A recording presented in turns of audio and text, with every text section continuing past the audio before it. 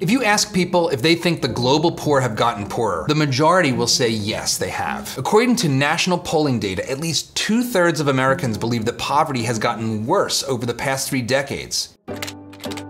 India was once renowned for its grinding poverty. My generation grew up with Mother Teresa in Calcutta seared into our minds. Many so-called experts thought progress in that country was impossible, or worse, that it was baked into Hindu culture. Yet since India opened its economy in the 1990s, hundreds of millions of people have lifted themselves out of poverty. The same is happening in Africa today, where you'll find some of the fastest growth rates on the planet. That's something we should all be celebrating.